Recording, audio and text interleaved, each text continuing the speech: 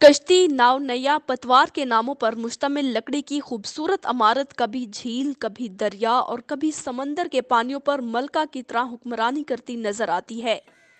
शदीद मुशक्क़त, सबर आजमा मराहल और कसीर सरमाए से तैयार होने वाली पानी की ये मलका कई कारीगरों की मेहनत से वजूद में आती है, जो न सिर्फ़ सैर व तफरी बल्कि माही गिरों के माशी निज़ाम को चलाने और सामान की मुंतकली के लिए भी भरपूर किरदार अदा करती है। दरख्तों के मज़बूत तनों से तैयार होने वाली नाव अरसा दराज तक पानी पर अपनी अहमियत बरकरार रखती है। लकड़ियों को काटकर मखसूस शक्ल में ढाला जाता है। कश्ती के फर्श को तर का नाम दिया गया है। कश्ती की बनावट में न सिर्फ़ मुख्तलिफ़ औज़ार इस्तेमाल होते हैं, बल्कि लकड़ी को गर्म और ठंडा भी किया जाता है। लैया में तैयार होने वाली कश्ती में ज़्यादातर दियार की लकड़ी इस्तेमाल की जाती है।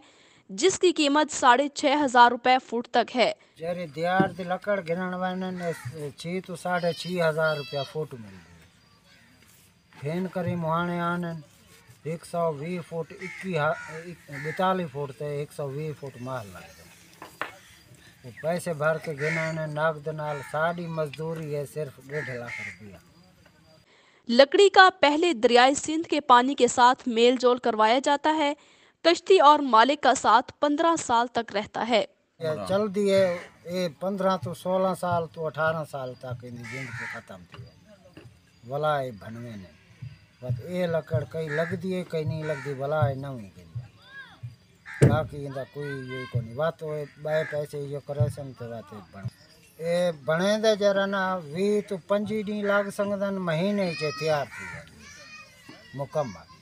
पीछे वाला साढ़े किलो फारे किलो इतु चाह वज़न फर्शे दो तो चाह के बन सकते बाकी घील के को नहीं बन सकते लकड़ी की कीमत और साइज़ पर कश्ती की लागत का इन्हसार होता है। 20 दिन से दो माह में तैयार होने वाली 17 फुट से 90 फुट तक की कश्तियाँ दरियाई सिंध की लहरों पर राज करती हैं जिसकी कीमत सात लाख रुपए से दो करोड़ रुपए तक होती है।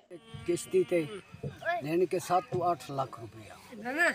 ਤੇ ਇਹ ਸਾਡਾ ਕਾਰੋਬਾਰ ਹੈ ਆਪਣਾ ਆਪਣਾ ਸਾਡਾ ਪੇਸ਼ਾ ਹੈ ਸਾਡਾ ਇਹ ਜ਼ਿੰਦਗੀ ਦਾ ਪਿਉ ਡਾਡੇ ਤੋਂ ਹੈ ਕਾਰੋਬਾਰ ਇਹ ਹੁਣ ਦਰਿਆ 'ਚ ਵੰਜ ਕੇ ਇੱਕ ਤਰਾਸੂ ਅਸਾਂ ਆਪਣੀ ਬੱਚਿਆਂ ਦੀ ਔਰ ਰੋਜ਼ੀ ਕਰਾਈਸੂ बगैर किसी ड्राइंग के लकड़ी को खूबसूरत कश्तियों की सूरत में ढालना ही कारीगरों का हुनर है चप्पू के साथ इंजन वाली कश्तियां भी इंडस रिवर की जीनत हैं लकड़ी को कश्ती की शक्ल में ढालकर तेल लगाकर खूबसूरत रंग देकर पानी में उतार दिया जाता है मामूली खराबी से ही इंसानी जिंदगियाँ खतरे में पड़ सकती हैं। दरियाई सिंध में बड़ी कश्तियों का रिवाज मोहम्मद बिन कासिम के हमले से शुरू हुआ। कश्तियों की पानी में मौजूदगी का इन्हसार राशन पर होता है।